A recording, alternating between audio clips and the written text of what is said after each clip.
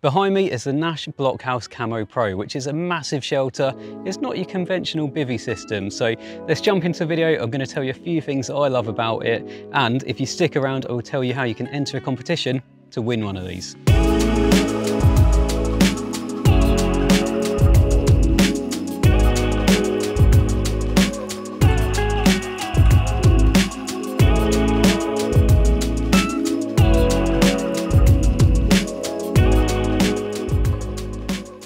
So the design might not be to everyone's taste and that is because it's quite away from your conventional bivy shape, but I quite like it. It's the sort of thing that once you've actually done a session in something like this, I think you'll be hard pushed to go back to a normal conventional bivy. That's for many reasons that we're going to cover within this video. But one of the first ones is for years manufacturers have been trying to make bivvies with a, a flat back design so that you can push your bed chair to the back to maximise the space. But Nash have taken that one step further and they've done that on all sides, which makes perfect sense. Why wouldn't you want to maximise the actual footprint that you've got? So that's why there's pretty much flat sides all the way around this and it works. It means you can stand up in it. It means you can move around with no issues. You can have a little table up and you can cook standing up. You don't cook sitting down in your kitchen, do you? It makes perfect sense, but I think it just takes a little bit of getting used to with the actual shape of it. As I've had it here today, I have got more and more used to it and just moving around is so easy.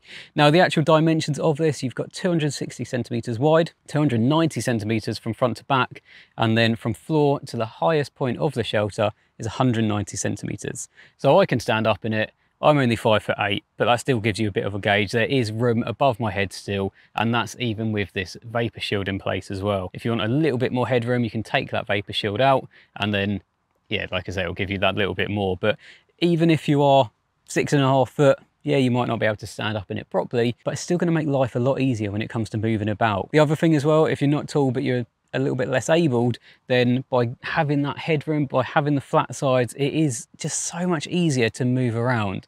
And that's a massive plus point of this. You don't have to worry about crouching around and crawling out your bed chair. I think nowadays comfort is becoming more important on the bank, especially with people doing longer sessions.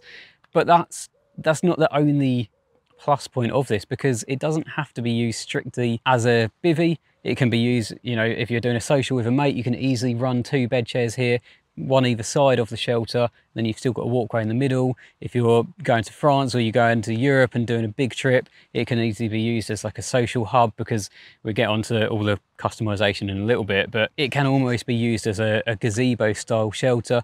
The possibilities with this literally are endless. Okay, so all you've got to do to be in with a chance of winning one of these Blockhouse Camo Pros is subscribe to the Carpology YouTube channel, put a comment on this video telling us your favourite feature, and then a month from now, we will pick a winner at random. So that's a month from the date of this video going live. A winner will be picked at random, and then it's yours. So get commenting, get subscribing, and fingers crossed, one of these will be making its way to you soon. The blockhouse really can be customized to exactly how you want it. Like I say, there's a multitude of different uses, whether you want it to be a, a shelter for yourself, whether you want it to be a two-man shelter, a gazebo, a social hub. There's literally so many different uses for this. And this is thanks to basically all the, the main panels around it. So the two side ones and the rear panel have obviously full infill panels, so they're completely waterproof, but you can obviously change that. So you can unzip the sides, you can roll them up and then that will reveal the mosquito mesh behind it, which is still in Nash's camo pattern. So you can choose to have all three as mosquito meshes. I've done the two sides and then I've got the rear as a waterproof panel. Not that it's going to rain, but it actually helps to block out a little bit of light. So that's quite nice. But if you don't want to use the mosquito meshes, then you don't have to either. So you can unzip that and then that basically gives you a complete window on all three of these sides. So it is almost like a gazebo setup. So you really can tailor it to how you want it to be. Moving on to the front, of course, there's going to be loads of different door options. So you can have it fully open like I've got it here.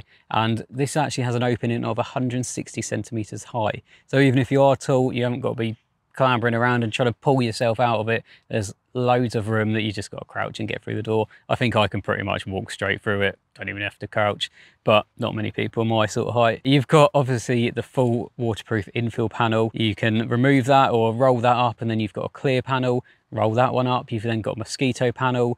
There's even a storm porch extension, which is actually sewn into the front of this shelter, which then can be used in conjunction with the front door pole kit that you can buy from Nash separately. Or obviously, like I say, you've got it open front like I've got it here. So again, you can really make the shelter exactly what you want it to be. So the blockhouse actually comes with this ground sheet that you see here. It's a heavy duty ground sheet. It velcros in place. And that's not just a little bit of velcro in each corner that ends up ripping off as you're moving stuff around. There's a thick strip of velcro that goes all the way around the outside of the ground sheet and of course all the way around the outside of the shelter. So you can really pin it down. I think it's about two inches thick. So that ground sheet is not going anywhere once it's in place.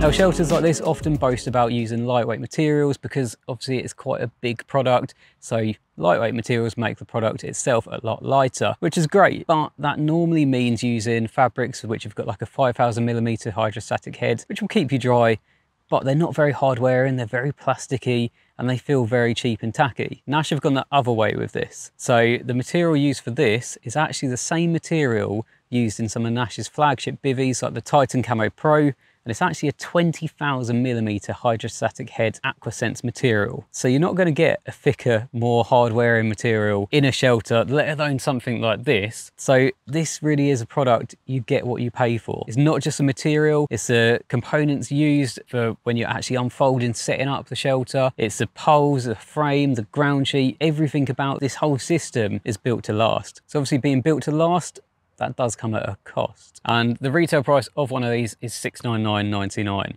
Now I'm sure you guys will be jumping to the comments straight away, but I don't think that's too bad. When you consider this really is a, a one size fits all, it can be your shelter, it can be a bivy, it can be a gazebo, it can be a social hub, it can be all of those things instead of having a bivy and then thinking you got to buy an extra gazebo or extra this or that. I don't think it's too bad. And when you think of the, the kind of price of high-end bivvies these days, I think it falls in line. So let us know in the comments what you think of it, of the price and of the actual shelter itself. I really like it. It's unconventional with the actual design and the shape of it, but I like it. I think it's very practical and I think they sell quite well. So to find more information about this, head over to the Nash Tackle website, where there's going to be all the ins and outs of spec and material and everything you need to know on there. This is very much a, a quick glance at a few of the bits that that we like from it here at Carpology. So thanks for watching this video. Good luck in the competition. Hopefully you guys, you guys win, one of you guys will win. And uh, I will see you in the next video.